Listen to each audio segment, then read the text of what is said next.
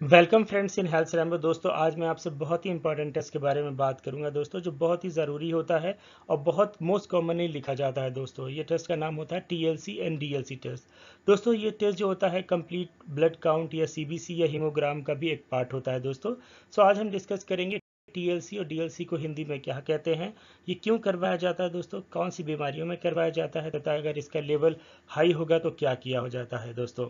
सो दोस्तों, हम डिस्कस करते हैं। दोस्तों टीएलसी जो शब्द है, वो तीन शब्दों से मिलकर बना हुआ है टोटल ल्यूकोसाइट और काउंट दोस्तों, यहाँ टोटल का मतलब होता है कंप्लीट ल्यूकोसाइट का मतलब होता है सफ़ेद रक्त कोशिकाएँ या वाइट ब्लड सेल्स और काउंट का मतलब होता है नंबर सो टोटल ल्यूकोसाइट का मतलब होता है कि हमारे शरीर में टोटल वाइट ब्लड सेल्स की काउंट कितना है? मतलब हमारे शरीर में सफ़ेद रक्त कोशिकाएँ कितनी होती हैं? दोस्तों, मैं आपको बताना चाहता हूँ, हमारे शरीर में तीन तरीके के सेल्स होते हैं।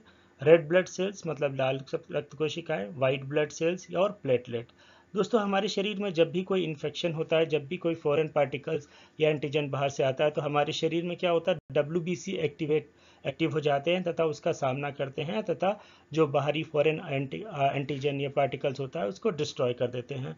बट काफ़ी बार क्या होता है कि जब ये करने में असमर्थ हो जाते हैं मतलब डिफेंड करने में रक्षा करने में असमर्थ हो जाते हैं तो बहुत सारी गंभीर बीमारियाँ भी लग जाती हैं। उसके बारे में हम इस वीडियो में दोस्तों डिस्कस करेंगे। सो so, दोस्तों यहाँ जैसे मैंने बताया टोटल ल्यूकोसाइड का काउंट का मतलब होता है कि हमारे शरीर में कितने वाइट ब्लड सेल्स हैं उसके बारे में कहते हैं, तथा डीएलसी का मतलब होता है कि जो डिफरेंट टाइप ऑफ़ जो पाँच डिफरेंट टाइप्स के ल्यूकोसाइट होते हैं, उनका कितना कितना काउंट होता है। दोस्तों टीएलसी और डीएलसी डायरेक्टली प्रोपोर्शनल होते हैं। अगर टीएलसी का लेवल बढ़ता है तो डीएलसी का भी बढ़ेगा, और अगर टीएलसी का लेवल घटता है तो डीएलसी का भी बढ़ेगा, क्योंकि जो डीएलसी होती है, वो टीएलसी का ही पार्ट होता है।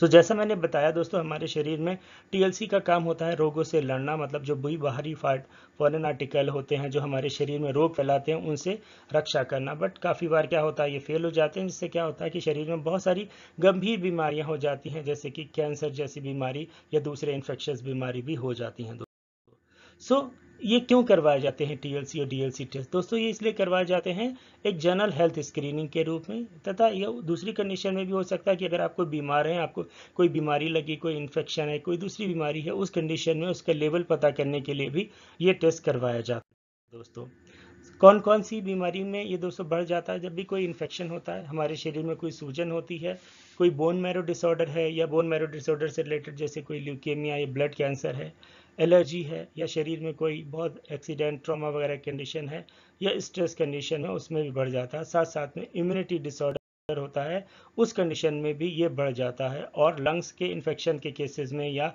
सीओपीडी के केसेस में भी क्या होता है कि जो टीएलसी या डीएलसी का लेवल जो होता है दोस्तों, बढ़ जाता है। अगर मैं नॉर्मल लेवल की बात करूँ तो हमारे शरीर में जो नॉर्मल टीएलसी का जो लेवल होता है 4000 से दस 10000 डब्ल्यूबीसी माइक्रोलीटर होता है दोस्तों। और ये क्या करता है कि दोस्तों एज के हिसाब से घटता जाता है। मतलब बर्थ के समय ये ज़्यादा होता है बट जैसे जैसे व्यक्ति की एज बढ़ती है, उसके हिसाब से क्या होता है, ये इसका लेवल घटता जाता है। और एडल्ट में इसका जो लेवल होता है, चार हज़ार से लेकर दस हज़ार माइक्रोलीटर्स होता है दोस्तों। और प्रेगनेंसी के केसेस में भी दोस्तों इसका लेवल, जो टीएलसी का काउंट का लेवल होता है, वो दोस्तों ज़्यादा होता है, दोस्तों।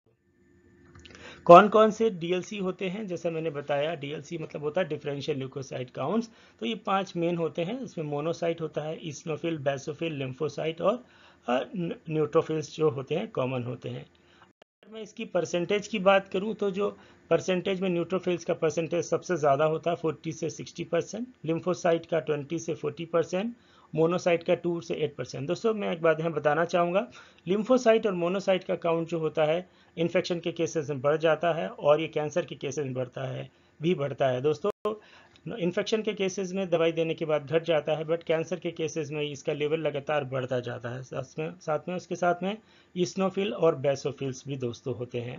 दोस्तों, इसके लिए अलग में वीडियो बनाया है, जिसके बारे में आप और डिस्कस कर सकते हैं तथा और उसके बारे में देख सकते हैं दोस्तों।